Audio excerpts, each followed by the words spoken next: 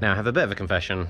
If there's one thing that will definitely get me to go to a museum, it's massive plastic dinosaurs. So, well done, Chak Wak. a friend of mine posted some pictures of this place on Instagram a few weeks ago, and I couldn't wait to drive myself down here and find out what's going on. Oh, hello.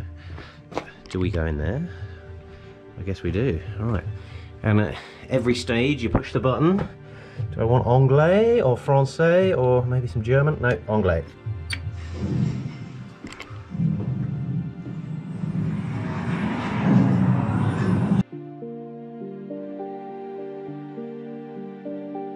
I think this museum has the rather ambitious aim of telling the entire history of time, uh, all the way from the Big Bang through to modern times.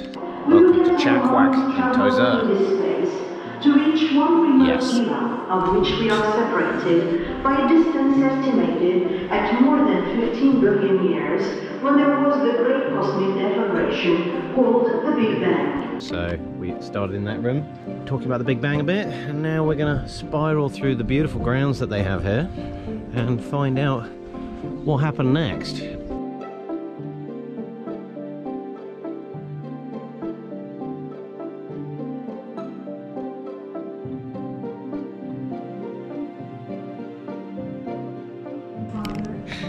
That's loud. Right, I think we're not supposed to come out. I think this is like a fire exit. So let's let's go back in and listen to the explanation of how dinosaurs were there at the uh, beginning of time. And there's one right there for some reason. I'd assume this is designed for children, in which case it could be quite traumatic coming down here, getting blasted with that. Anyway, strong dinosaur theme. I like it.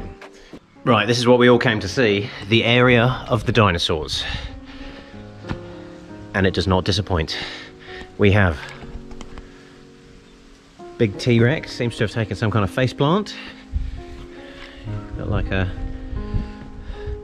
I don't know who he is. Having a little bottle of water. Good stuff.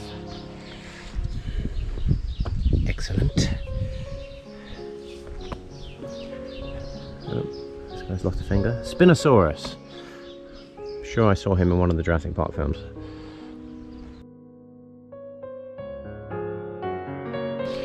There's a Stegosaurus, doesn't seem to have noticed. He's too busy in that bush, getting crept up on by that T-Rexy thing there. Who's this guy?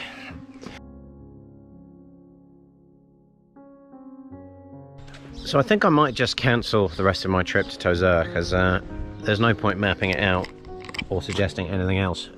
The only thing you need to know is where this Chak Wak place is. So if you're coming to Tozeur, you just got to come here. It's that. It's really that simple. Look at that beauty. And unfortunately for this one, the Triceratops, who's actually a Biceratops, he's getting snuck up on by whatever that is. That terrifying beast in the bushes.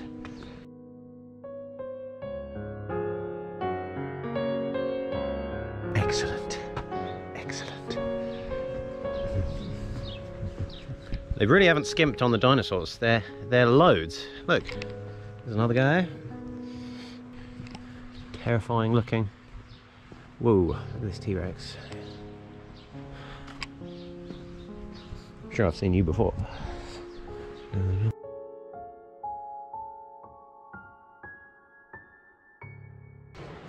I mean, this this Stegosaurus looks like it's more than life size. Look at the size of a beast.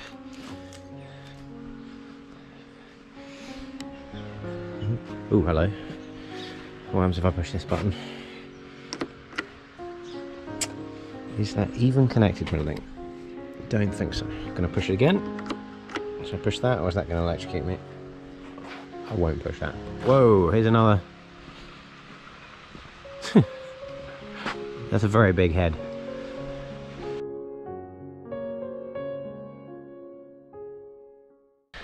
Right, we've uh, left the time of the dinosaurs and we've joined the time when Stone Age man used to get trampled to death by some kind of mastodon. No one is helping this situation at all. This guy's getting trampled. Uh, I suppose that actually that guy's just antagonizing it, pulling its tail. This guy's trying to put his mate out of his misery, hit him on the head with a rock. Not sure what he's doing, but I don't want to know. Crocodiles. Yes. Primitive man. Sneaking up on some ducks. Hanging out at home. Australopithecus, Homo habilis. And we get to us. Say new. A bit freaky wandering around here all alone because I keep seeing people out of the corner of my eye in my peripheral vision and then I realised that they're made of plastic. Oh, this guy's having a nightmare. What's happened here? Is no one going to help these two children who are being crushed? Apparently not. Some uh, animal cruelty happening here. Seems like one of our Neanderthal men has got himself up there. Hello. Right. Oh no. Doesn't say what language is which. Let's guess. Please don't be German.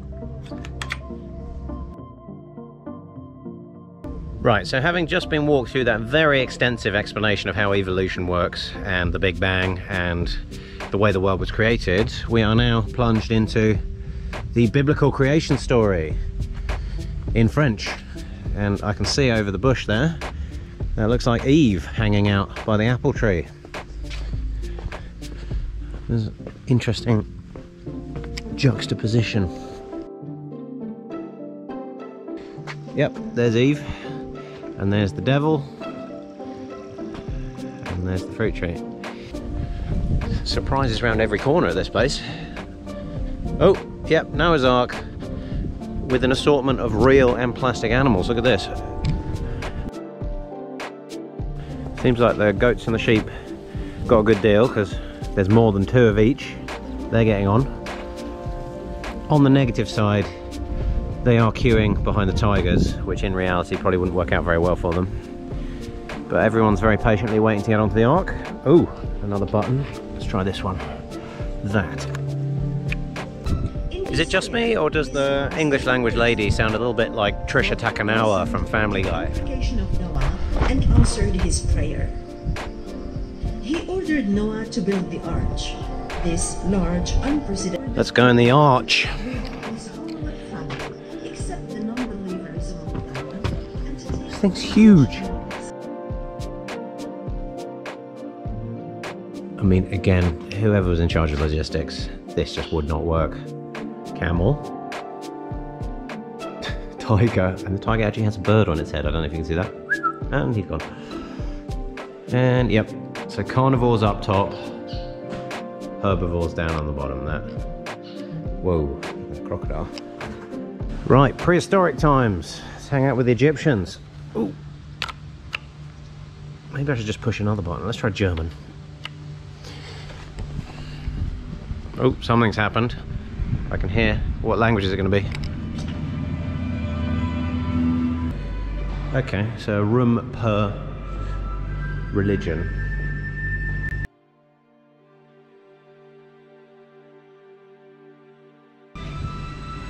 And we're out.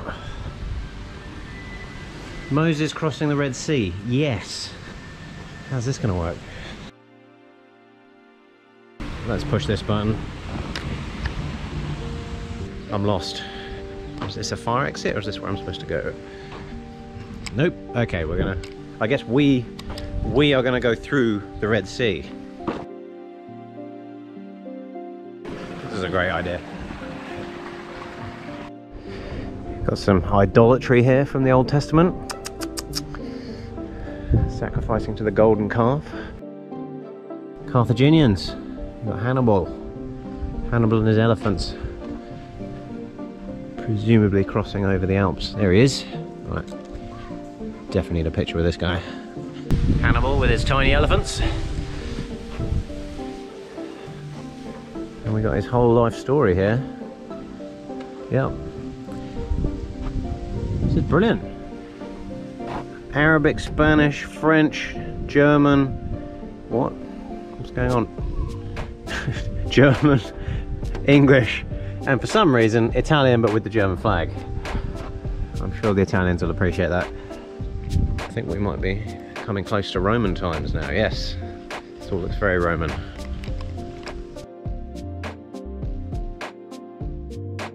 What's going on in here? Let's give it a go. Aha, there we go. We got something.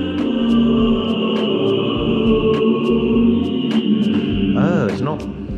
annoncé par les prophètes qui l'ont précédé, attendu par le peuple de Dieu depuis des siècles, car French nativity scene there. Onwards. Now we're on to the dawn of Islam. Let's see if I can get this one to work in Anglaise.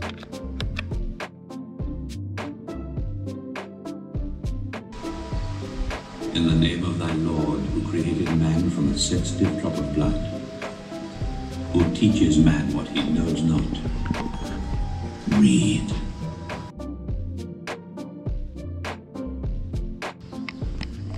This just seems like a forest now. What's going on here? Right, what have we got on these information panels?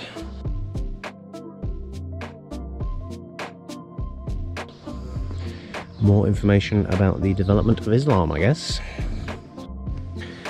Whatever is happening here, that does not look good. It's like 11th century eye surgery. Is he having a good time? Ouch. We're now into the Treasures of Islam Hall. Mhm. Looks like a very large but real Quran. Wow.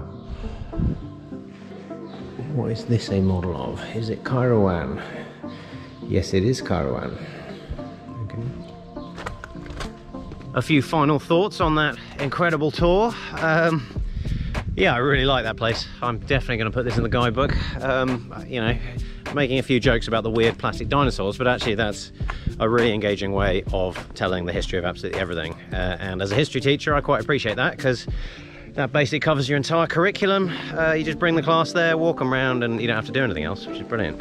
Yeah, definitely worth a visit. Uh, and also, it's right on the edge of the Palmeraie, so you've got all sorts of birds floating around here. It's a nice part of the countryside.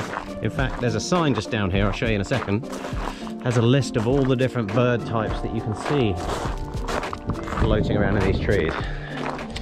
Uh, there's also quite a grumpy camel though, so I'm going to see if I can avoid getting bitten or spat at by him. Here we go. Here are all the different species of birds you can see at the oasis of Tozeur.